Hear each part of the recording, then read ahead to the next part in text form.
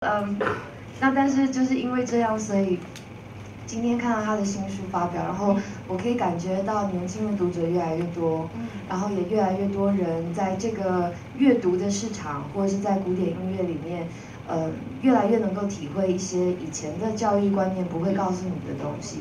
那我很高兴看到我哥哥发光发热，然后每一本书都是要开花结果结果的过程。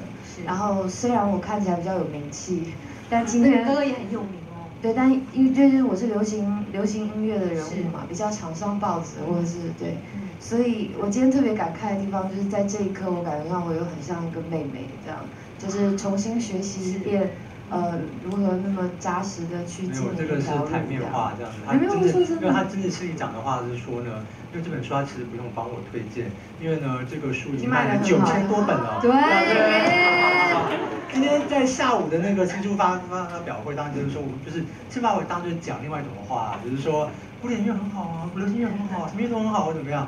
我今天跟大家讲，这是实话，我们根本是仇人，对？就就是一个比武这样子。这个书都卖九千多本了，那他高雄演唱会的票呢？对不对？哇，在较劲了，这样对对对，祝他赶快。天哪，真糟糕这样子。对，好，不好意思，开玩笑，就是说，就是说，希望大家也都可以去这样子。那因为互相祝福啦。对，那我其实还还是因为其实我包括在书里面，我我不是打书这样，我就说这书最后里面我提到，就是说我们现在是在我们在人类史上，就是我们听到音乐是最丰富的一个时代。请大家想想，一百年前没有这这么多种这么多不同的音乐，就是没有这样，所以我们就有各种不同的音乐可以选择。这样子，所以那这个真的并不是什么哪种音乐或怎么样，但就是说，因为人的时间有限制，就是说我们可能挑某种音乐特别最有兴趣的来去做钻研。如果你在上上面要有深入的研究的话，啊，但并表表示说我不会去听其他的音乐，或者是我不能感受到其他音乐的好或怎么样。所以就是还是一样啊，就是说呢。